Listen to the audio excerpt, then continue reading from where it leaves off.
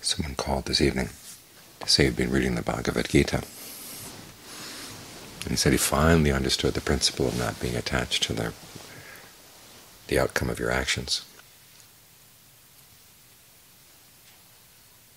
I had to tell him no. There's one way in which you don't want to be attached, but there's another way you have to be very much attached.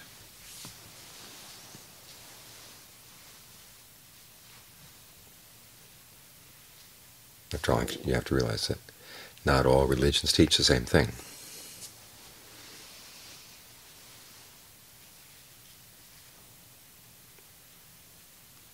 The principle of not being attached to the results of your actions makes sense only in this way, that we tend to be attached in the way that you like to do certain things and you want those things to come out well, regardless of whether they really are skillful or not. That kind of thing you can't be attached to. That kind of attachment is unhealthy because it gets in the way of your learning anything. You do have to have, a, have to be attached to the idea that you want to do things in a way that gives rise to skillful results. You've got to hold on to that. That's the raft that takes you across the river. And although ultimately you may get past needing the raft when you get to the other side of the river, as long as you're crossing over, you have to hold on. You want to learn from your mistakes. You want to take your actions very seriously, and the results of your actions, you have to take those very seriously too. Not to the point where you get depressed or discouraged, but you want to encourage yourself to keep on trying to do things in a skillful way, and you find yourself doing things in a way that's not unskillful, you want to figure it out. What went wrong? Was it the intention? Was it the way you tried to implement the intention? You've got to learn to read your actions from the beginning point, from when you first have the intention to act, and then while you're doing the action, and then after it's done. These are the instructions the Buddha gave to Rahula. And they underlie everything else he taught. As we know today, it carries all the way through the practice of meditation when the Buddha teaches about emptiness. It's essentially an application of the same principle. You meditate, and you want to, one, figure out how do you do it well? How do you get the mind really to settle down? And then how do you see clearly where there's a disturbance, even in that state of concentration? And you notice the areas where it's empty of the disturbance, that's what the emptiness means, and where there still is a disturbance. You do this by comparing it to where it was before. So there it is, comparing mind. But it's important. The analogy the Buddha gives is when you leave a village and go into the wilderness, and you realize that all the disturbances you had being in the village, having to worry about the politics, worrying about this person's attitude and that person's attitude, when you finally get out into the wilderness, you can put that aside. So there's this emptiness there, an emptiness of disturbance. It's a very positive sense of emptiness. What disturbance is left? You've got the perception of wilderness now. And it's not totally a pleasant thing, because there are dangers in the wilderness. There are animals out there, there are diseases out there. You're far away from any doctor.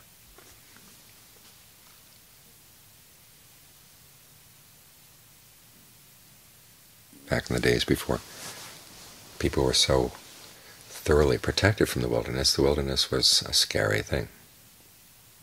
They called it the howling wilderness.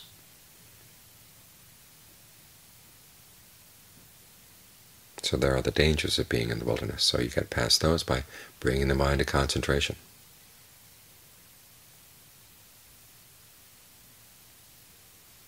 The mind is totally with, say, the breath or any of the formless states. You can drop the concerns of being in the wilderness when you're there. It's just you and the breath. Or as the Buddha recommends in that particular sutta, you hold on to the perception of earth. Everything solid has earth. The trees are earth. The earth is earth. The animals are earth. Your body is earth. It's all just earth. And when you hold that perception in mind, then the disturbances of being afraid of being in the wilderness or the dangers that may come to you physically, those get dropped. It's just earth with earth. And then he says, and you stretch that perception of earth out in all directions. You're not paying any attention to the, the rise and the fall, the, the ridges and the hollows. He says it's like taking an animal skin and stretching it out with a hundred pegs.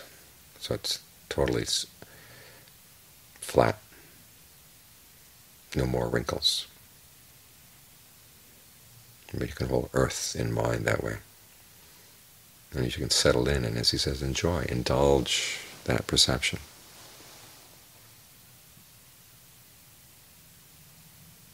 And you can carry this through, through many subtle states of meditation, infinitude of space, the infinitude of consciousness, nothingness, neither perception or non-perception. In each state it's the same thing. You settle in, you indulge in it, and then you see where is there a disturbance still there. And you always find the disturbance is with the perception. It's something you're doing. And ironically, the thing you're doing to create that state is also the disturbance. So you let go, let go. And essentially you're doing the same thing that the Buddha taught Rahula in the very beginning. You're looking at these things as actions, and you're seeing where there's still any harm. The Harm here, though, gets very subtle, so it's just the level of disturbance. The importance of this is when you get to these very subtle states, you don't start regarding them as the ground of being. This is particularly likely when you hit the infinitude of consciousness. You say, wow, this must be it. Everything just arises from here and passes away, and this consciousness, this awareness is, spreads everywhere. It's not touched by anything. Everything comes out of this consciousness and returns to it. And if you forget that this too is an action, this state you've got is something you've created, then it's easy to come to all sorts of false conclusions about it. But you've got to keep this perception in mind. This is an action. You carry this all the way through. In practice, what you're doing, though, is simply raising your standard for what's skillful and what's not. This is one of the gifts that the Buddha gives us. He keeps raising our standards.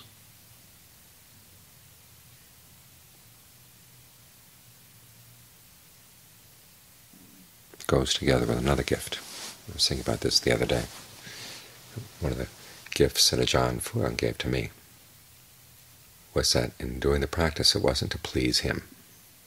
As a child I had always been very attuned to trying to please my parents went to school, tried to please my teachers, lived my whole life trying to please people.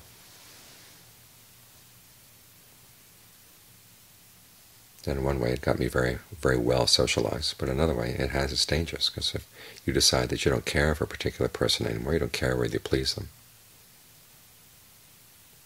So it's not very reliable standard for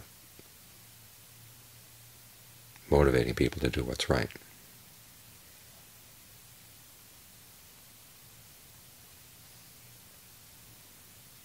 So when I first went to stay with Ajaan Fuang, and admired him a lot, so I wanted to please him. And I began to find pretty quickly that whatever I did, it was never good enough, which was frustrating. And I had the typical reactions, well, if he did, it's not good enough for him, well, maybe he's just being too picky or whatever. But eventually I had to come back to the principle that, wait a minute, I'm doing this to please myself. I'm suffering, and I need to get rid of my own suffering. It's not for anybody else. As he would often say, we're not anybody's servants. Nobody paid us to be ordained. Nobody's paying us to practice. We're here, we're here because our suffering is pushing us into the practice. And we want to put an end to it. Now the danger, of course, if you're here just to please yourself is that you turn into a sociopath. So that's the second gift that you get from the teacher, which I got from Ajaan Fuang, which was to raise my standards for how to please myself, what counted as making myself happy enough. And part of it was realizing that There's a lot of suffering that goes on even in the mind that seems to be very still. And you can't forget about other people. But your concern doesn't have to be about simply pleasing them or whether they like you. Your main concern has to be is, are your actions causing them any suffering?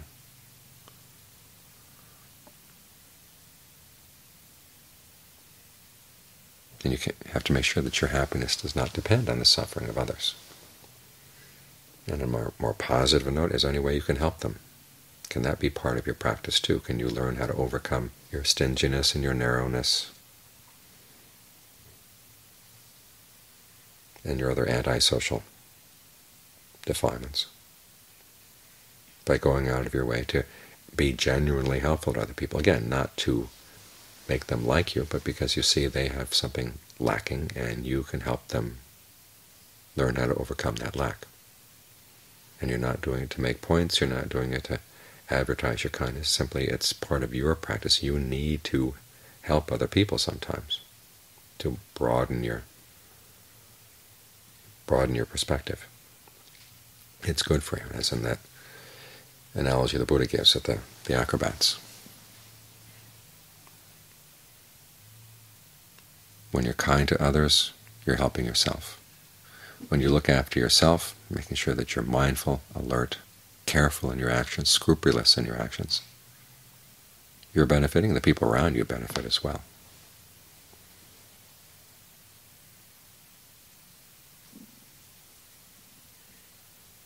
As in the story of King Pasenadi and his queen. One night where he's in the mood, he turns to her and says, is there anyone you love more than yourself? And of course he's expecting that she'll say, yes, Your Majesty, you.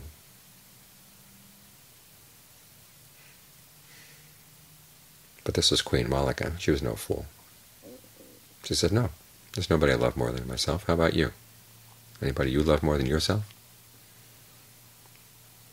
End of scene. King goes down and reports to the Buddha what they said. And the Buddha says, that's true. You survey the whole world. You never find anyone that you love more than yourself. In the same way, everybody else loves themselves fiercely. So the conclusion is not that you have to fight off everybody else. The conclusion is you want to make sure that you never harm anyone else. You can read this two ways. One is that you realize that if your happiness depends on their suffering, they're going to do what they can to put an end to your suffering, so you've got to be careful not to step on their toes. Another level, though, you can realize that there's this empathetic reaction. You realize that you really want happiness, and you look at other people, and they really want happiness too. And there's an empathy and a sympathy that goes with that. One level where we can all resonate one level where we can all connect. Fortunately, there is a way to find happiness that doesn't cause harm to anyone else. It's through training the mind.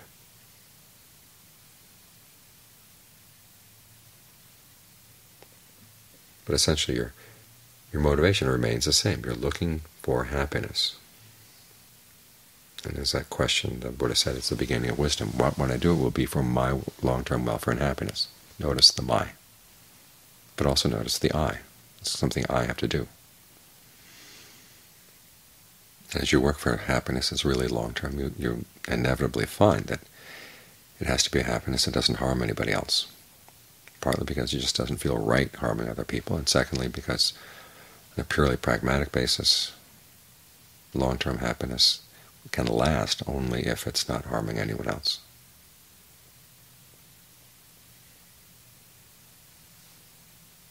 And so that sort of blurs the distinction between your happiness and other people's happiness.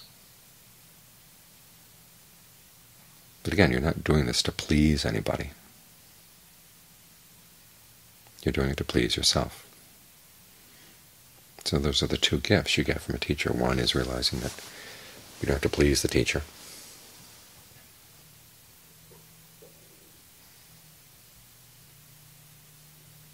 You're here to please yourself. But the teacher also teaches you've got to raise your standards for what's pleasing. So it does involve helping other people.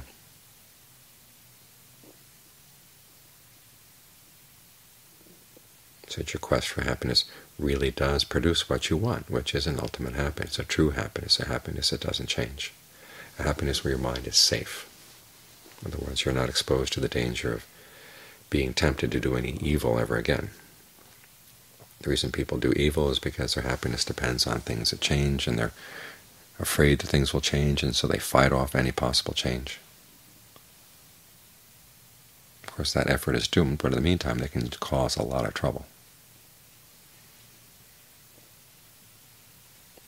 And although we like to think that we're by nature good people, if your food source gets threatened, i.e. your source of happiness gets threatened, the fangs can come out. That's a scary thought. So you are here to please yourself, but you want to make sure that your standards for pleasing yourself stay high.